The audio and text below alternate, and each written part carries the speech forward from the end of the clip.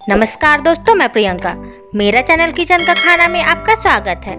आज हम बनाएँगे छत्तीसगढ़ की एक पारंपरिक व्यंजन, खुरमी, जो कि हमारे छत्तीसगढ़ में हर घर में बनाया जाता है और इसको बहुत ही पसंद किया जाता है। और इसे स्पेशली तीज के त्योहार में ज़रूर बनाया जाता है। वीडियो को लास्ट तक देखिएगा, आपको इस रेसिपी का लिस्ट लास्ट में मिल जाएगा। तो चलिए बिना टाइम पास किए शुरू करते हैं वीडियो खुरमी बनाने के लिए हम यहाँ पे लेंगे एक बाउल में 100 ग्राम गेहूँ का आटा 25 ग्राम सूजी, और हम इसमें डालेंगे कुछ ड्राई फ्रूट ड्राई फ्रूट में हम यहाँ पे लेंगे कुछ बारीक कटा हुआ नारियल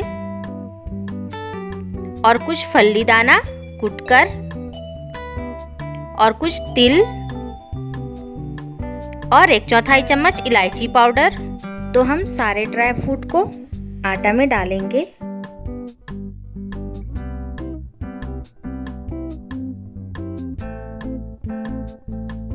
और हम इसमें डालेंगे चार से पाँच चम्मच तेल।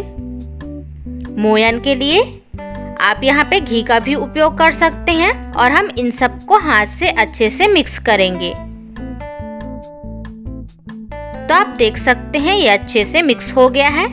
तो हम इसे हाथ में ऐसे करके देखेंगे कि हमारा मोयन ठीक आ रहा है या नहीं। तो आप देख सकते हैं हमारा आटा सेट हो रहा है मतलब हमारा मोयन ठीक है। अगर आपका आटा सेट ना हो तो आप इसमें थोड़ा सा और तेल डाल सकते हैं। तो हम यहाँ पे लेंगे 50 ग्राम गुड़ और इसमें थोड़ा सा पानी डालेंगे और गुड़ को पानी में अच्छे से मिक्स करेंगे। तो आप देख सकते हैं, गुड़ पानी में अच्छे से मिक्स हो गया है। तो हम इस गुड़ पानी से इस आटा को गूंद कर एक मीडियम डो तैयार करेंगे।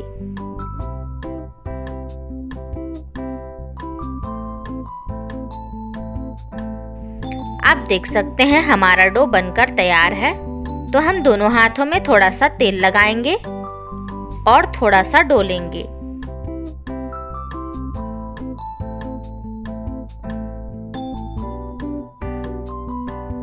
और ऐसे सेप देंगे और चम्मच की सहायता से ऐसे डिज़ाइन बनाएँगे। अगर आपके पास बाँस की टोकरी है तो आप टोकरी में इसे डिज़ाइन करें। तो हम सभी को ऐसी बनाकर तैयार करेंगे।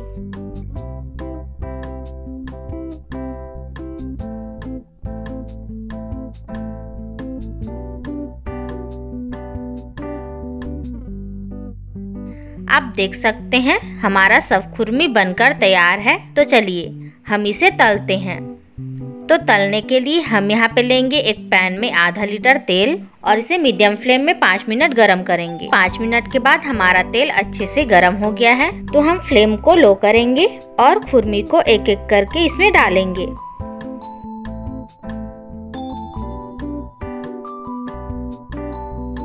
और इसे दो मिनट ऐसी पकने देंगे।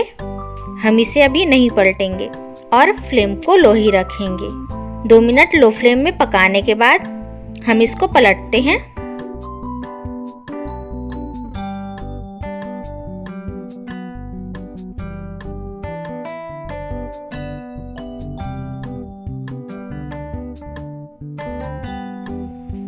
और इसे फिर से दो मिनट पकाएँगे।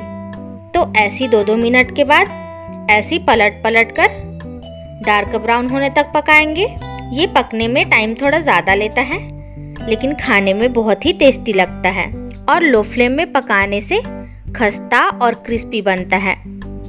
तो आप देख सकते हैं हमारा खुरमी पक गया है तो हम इसे तेल से निकाल लेते हैं।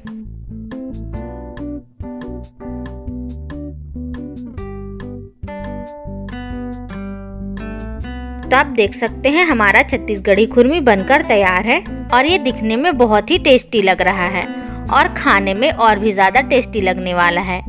आप इसे एक से डेढ़ महीने तक एयर टाइट कंटेनर या जार में रखकर इसको एंजॉय कर सकते हैं। तो मैं इसे तोड़कर दिखाती हूँ। आप देख सकते हैं ये बहुत ही खस्ता और क्रिस्पी बना है। तो आप भी इस रेसिपी को इस तीज पर ज़रूर बनाएँ और कमेंट पे ज़रूर बताएँ। कि आपका खुरमी कैसे बना। अगर आपको एक और तीज स्पेशल रेसिपी देखना है तो आई बटन पे क्लिक करें। अगर मेरा वीडियो आपको पसंद आया होगा तो लाइक शेयर और सब्सक्राइब करें। और हाँ दोस्तों बेल आइकन को दबाना ना भूले, ताकि मेरे आने वाले वीडियो का नोटिफिकेशन आपको मिल सके। दोस्तों, मेरा वीडियो देखने के लिए धन्यवाद।